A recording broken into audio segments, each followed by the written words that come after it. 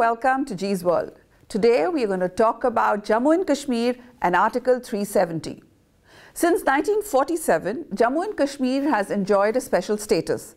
But on 5th August 2019, the Government of India under Prime Minister Modi changed all that. Today, Jammu and Kashmir and Ladakh are two separate union territories. While this bill may have been passed by the parliament, many feel that it will face legal challenges. So what are the challenges and will it stand legal scrutiny? To talk about all of this, I have with me Aman Hingorani, who is a Supreme Court lawyer and a mediator. But most importantly, he has written a book, Unraveling the Kashmir Knot. So let's talk to him and find out about all of this. Thank you, Mr. Uh, Hingorani, for joining. So I want to start off by asking you to explain to our viewers, uh, you know, uh, about the historical and the political context of the Article 370. Well, um, now India is an ancient civilization, but modern day India and Pakistan, for that matter, are creations of a political agreement, the partition plan of 3rd June, by which the provinces were to be partitioned. Mm. And this agreement and uh, this particular this partition plan was crystallized in British statutes, yeah. the Indian Independence Act of 1947 and the Modified Government of India Act of 1935. Now, India and Pakistan have accepted these statutes. There's no doubt about the legitimacy of India and Pakistan as per these statutes. Now, in terms of this law which created India and Pakistan and which governed the subcontinent, the princely states, there were 560 odd states, were legally sovereign. They could accede to India or to Pakistan or stay independent. Jammu and Kashmir is one such princely Indian state. And as of 15th August 1947, Jammu and Kashmir was a sovereign state.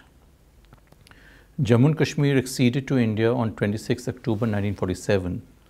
The rule acceded. And the state became an integral part of India and accession is an act of state, it binds everybody. So it, it, it, right from 26 October 1947, it acceded, but acceded in three areas, external affairs, communication, defense, and certain ancillary matters. Now, that is where 370 comes in. 370 reflects this. 370 itself contemplated that there would be a state constitution enacted by a state constitutional assembly and you have decisions of the Supreme Court, uh, Premnath case, for instance, of 1959 Constitution Bench, which said it was for the State Constitutional Assembly to decide the constitutional relationship between India and the state. Now, in 1951, this assembly was set up. It was an elected body. 1952, the chairperson proposed that the state of Jammu and Kashmir should be an autonomous republic within the Indian Union.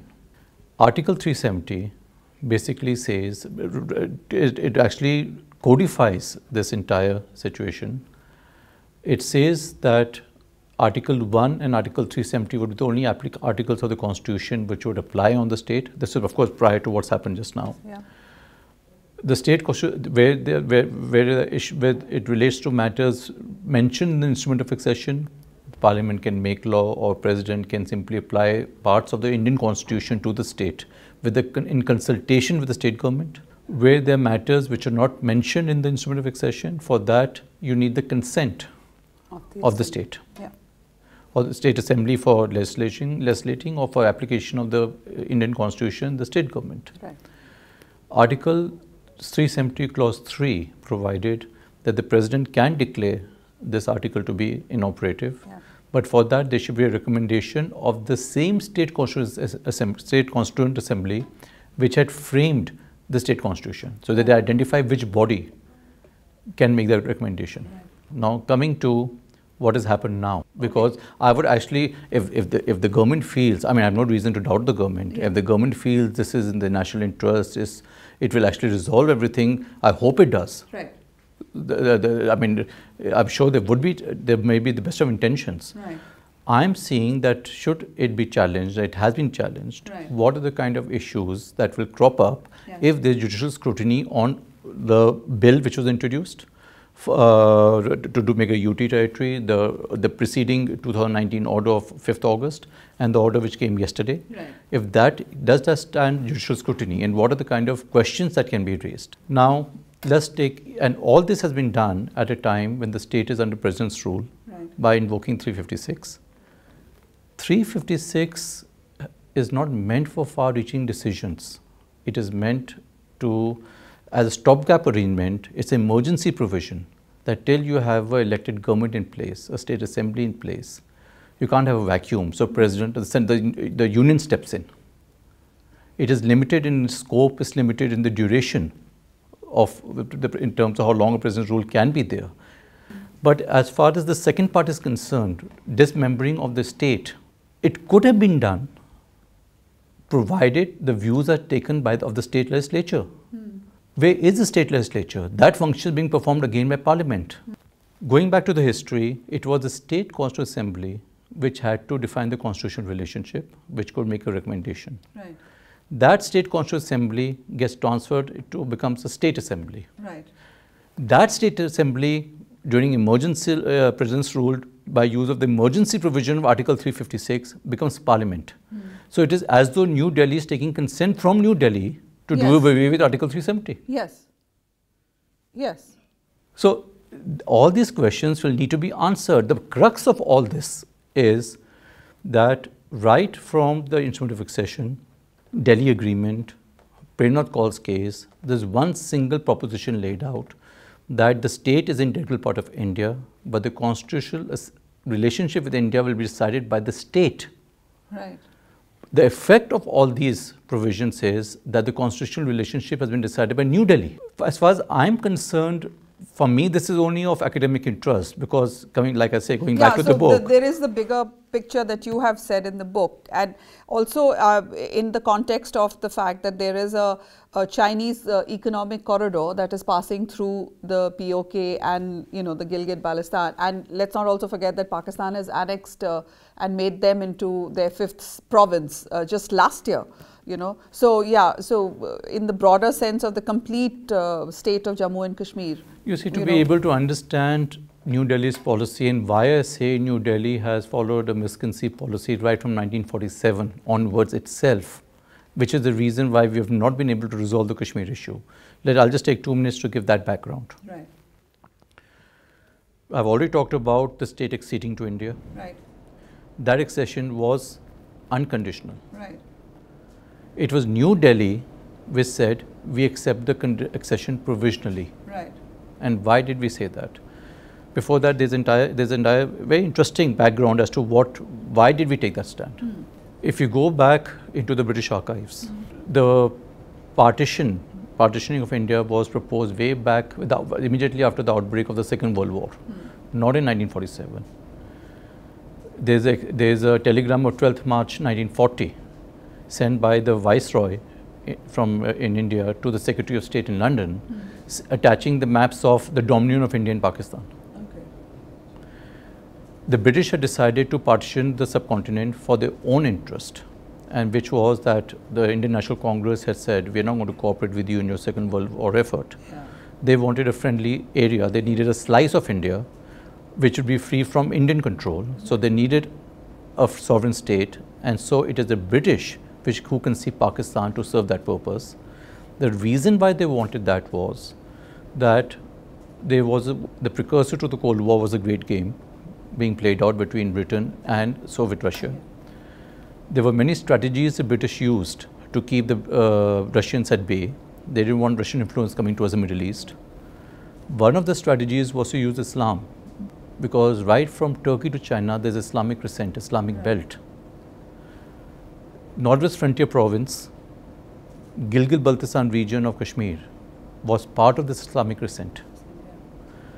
The strategy was that we need a slice of India for our purposes, and that's documented by the British. It will serve us, suit our purposes if we are able to keep this. And so it is the British which mounted the two nation theory and asked, which was declared by Jinnah in, in March 1940 at Lahore.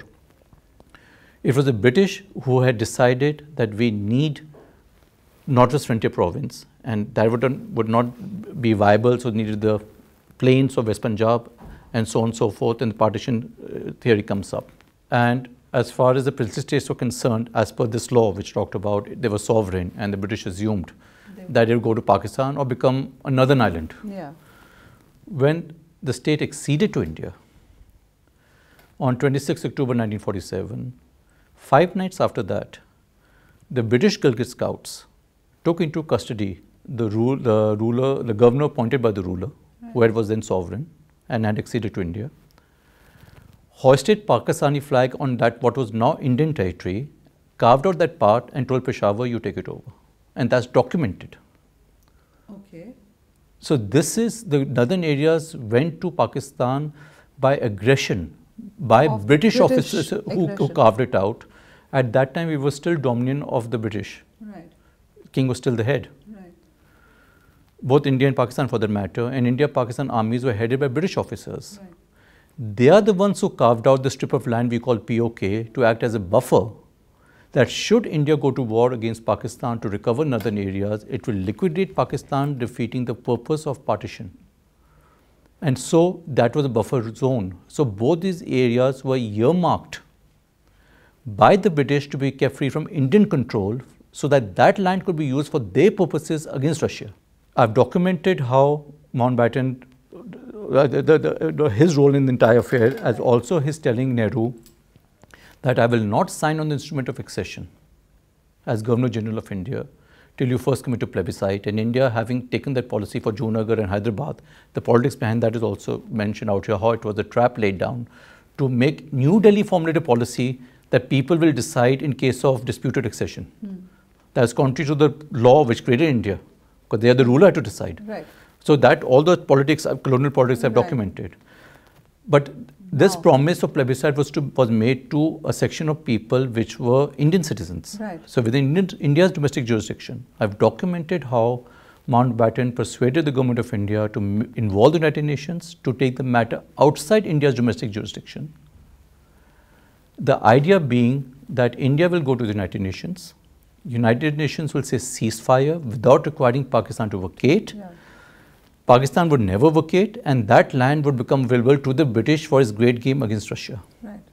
And India will be left watching helplessly when Pakistan army moves in. Right. The second strategy would be that in, that India would be held to its promise of plebiscite now under UN supervision. So we are the only country in history to have gone to the, to the United Nations complaining of aggression against our territory Right. and come back with a commitment. Let's have a plebiscite to see whether it's even part of a territory. In 1952, there's a telegram from- from Nehru to Sheikh Abdullah saying, Four years ago, I had decided plebiscite is to be ruled out. War is not an option. So let them keep what they have, we keep what we have, territorial status quo. And that's been India's policy Shimla Agreement, Lahore Declaration, Right. inviolability of the ceasefire line. We win back Haji Pir in the 65 war And and we give it back. Somebody falls in River Jhelum from POK, Indian citizen, we pick him or her up, give him or her back, Back. to Pakistan Army. Because territorial status quo. Our policy is to be disown our territory and our people. We discover from Chinese maps in late 50s that in early 50s China has taken away Aksai Chin. Yeah. 1963 Pakistan gives part of Indian territory to China. Right. It's from there we have the CPEC. Yes. And that, what, what do we do about it? Formal protests. Right now, boycott the One Belt, One Road Forum or the initiative. It is Indian territory. The Kashmir issue is not the valley only, it's just 9% of the state. It is not cross border terrorism. There's a parliamentary resolution of 94 which says Pakistan must vacate occupied territories. That's a mandate on New Delhi to get back our territories and our people. It has to come back in the political discourse that people in Gilgit Baltistan are Indian citizens. Even they've lost their consciousness that they're Indian citizens. Yeah. It's a broader issue. So, Article 370, uh, now that it's been revoked, how will that impact It won't. this? Which is the reason why I say I don't locate the genesis or the solution to the Kashmir issue through Article 370. We have been focusing of the 70 for these 70 years only on the part of the state which is with us. You have a state which is Indian territory, Yeah. more than 50% of it being occupied by two sovereign countries, Right. Pakistan and China. It is an international issue. So, and So- your, so, uh, and your so solution? My solution is that we need to, we may say it's an integral part of India. We are the ones who made it provisional accession. Right. We are the ones which internationalized it. We are the ones which gave a disputed territory tag. Right. Unless we get rid of the disputed territory, territory tag on Kashmir, nothing will work in Kashmir. And for that, you need to go to the court Right. to decide who has title to that place. The only court in existence whose views are authoritative and binding on the international community is the ICJ. So it's very simple. It is something like I have a house. Yeah. Then I say, I'm not too sure I have that house. Right. Somebody gets in, I say, please get out. Yeah. They say, you don't know your own title. So, so I say it's a free, uh, terrorist movement. They say it's a freedom struggle. Who will decide? Till my title is confirmed, every state in the world is going to take advantage of the situation. Right. So we need to depoliticize Kashmir. It's a political issue, but we need to separate the legal from the political. It has a legal element. Get a finding in law that we are entitled to the entire state to get the moral authority to be in the state. You need, law can't resolve Kashmir issue, Right. but law can change the political discourse. Right. What prevents India from moving the ICJ? Suppose we win in ICJ, 90% of the issue is over. Suppose we lose. What will the ICJ say? Status quo. Status quo will say, no, wishes of people were important. Very well. The people have already declared, uh, there's a 1954 resolution of the Constitutional Assembly saying we want to be part of India. We have already ascertained that. But the legal question which has escaped consideration, this issue has been pending for, for more than 70 years. I've researched on it for about 25 years. In my research, I've not come up with a single writing or a view which, I, which seems to have escaped consideration, which I've taken up out here. If the law which created India and Pakistan made the ruler the sole repository of power to offer accession, from where did New Delhi get the jurisdiction or, or the competence in 1947 to lay down a contrary policy that people will decide? Hmm. And if that policy is unconstitutional, this whole issue of plebiscite goes. Right. And since it's the same law which created Pakistan, it would be fair to say the law that created Pakistan itself makes Kashmir part of India. Right. If Pakistan disowns that law, there is no Pakistan. Right. So you need to go to the international, uh, to the ICJ, not to the United Nations Security Council. That's a political body. Right. Go to the ICJ, which is a judicial body. Say, as per the law which created India and Pakistan, the ruler was sovereign. Ruler came to India. That accession is final. Which Pakistan was never part. Uh, Kashmir was never part of Pakistan as per Pakistan's constitution. Right. Kashmir is part of India as per Indian constitution. So how, do, How, did Pakistan get the locus standi? right? We are the ones. This is the reason I keep saying the minute you say Kashmir is a bilateral issue, Yeah. we are conferring standing on Pakistan other than as an aggressor. Right. Pakistan has no locus standi on Jammu and Kashmir. But in, in today's scenario, now with China having taken over a territory, Pakistan having now made this into their fifth province or the fifth state, uh, you know, and India, and the, the Kashmir that is with us, uh, which is ours, uh, how does one solve it and how will 370 uh, See, that's why I say 370 for Will me not have an will not have effect. That's that, that's why I say I'm not getting getting in, even Into into that. the New Delhi's Kashmir Okay. policy. So- but, but the po- but, uh, that's precisely the point. You don't have a military solution. Yeah. You don't have economic solution. Right. You don't have a political solution. Right. You, you can't, uh, your own thought process is to disown that part of a territory despite parliamentary resolutions and pronouncements otherwise. We have uh, given up on that. We already put, put up our hands as far as that is concerned. Right. Why aren't we going to the ICJ and getting injunction that how can they annex uh, Gilgit-Baltistan? Why aren't we asking for injunction? How can China pump billions of dollars in the corridor? Okay. Why aren't, why, the only way we can do that is there's a political stalemate between India, Pakistan and China. We need to break the political stalemate. Right. I am suggesting as a first step, use law to break the political stalemate, to alter the political discourse, to get a political process started. Okay.